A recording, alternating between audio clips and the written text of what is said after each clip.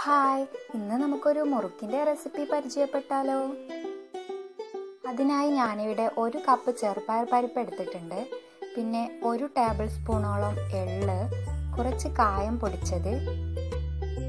പിന്നെ അരിപ്പൊടി ഒരു കപ്പ് ചെറുപയർ പരിപ്പ് പ്രഷർ കുക്കറിലിട്ട് നന്നായിട്ട് വേവിച്ചെടുക്കണം. അതൊരു പാത്രത്തിലേക്ക് മാറ്റി മറ്റു ചേരുവകളൊക്കെ ചേർത്ത് നന്നായിട്ട് കുഴച്ചെടുക്കണം.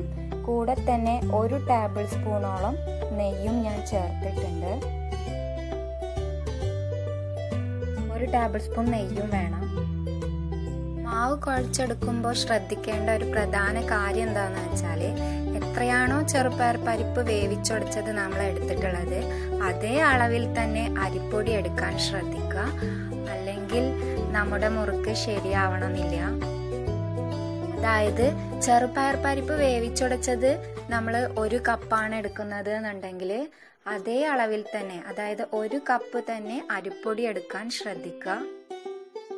എല്ലാം കൂടെ ഒന്ന് മിക്സ് ചെയ്ത് സ്പൂൺ കൊണ്ട് ഒന്ന് ഇളക്കിയതിന് ശേഷം കൈകൊണ്ട് തന്നെ നന്നായിട്ട് കുഴച്ചെടുക്കാൻ ശ്രദ്ധിക്കുക. ഇടിയപ്പത്തിനൊക്കെ നമ്മൾ കുഴച്ചെടുക്കാറില്ലേ അതേ ഒരു പരുവത്തിലാവണം കുഴച്ചെടുക്കേണ്ടത്.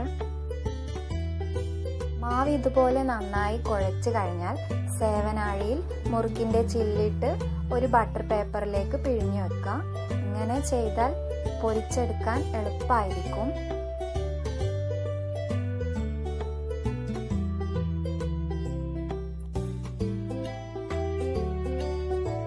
ഇതുപോലെ മുറുക്കിന്റെ ആകൃതിയിൽ വേണം ചുറ്റിച്ചെടുക്കാൻ.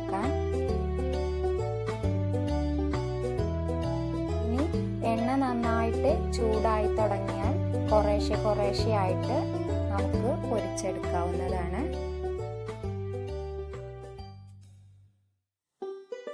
രണ്ട് ഭാഗവും നന്നായിട്ട് വേവിച്ച് കഴിഞ്ഞാൽ നമ്മുടെ മുറുക്ക് റെഡിയായി കഴിഞ്ഞു. ഇതുപോലെ എല്ലാം പൊരിച്ചെടുക്കുക. നല്ല ക്രിസ്പി ആയിരിക്കും നമ്മുടെ മുറുക്ക്.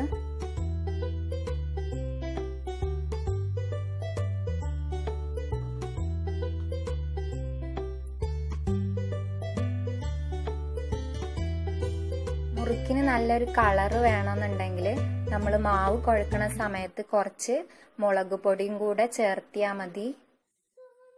അപ്പോൾ എല്ലാവരും ഇതുപോലെ ഒന്ന് ട്രൈ ചെയ്ത് നോക്കുക. കുട്ടികൾക്കൊക്കെ തീർച്ചയായിട്ടും ഇഷ്ടപ്പെടുന്ന ഒരു മുറുക്കായിരിക്കും ഇത്. വീഡിയോ എല്ലാവർക്കും ഇഷ്ടമായി എന്ന് കരുതുന്നു. വീഡിയോ ഇഷ്ടമായ ഷെയർ ചെയ്യാനും ലൈക്ക് ചെയ്യാനും മറക്കരുത്. താങ്ക്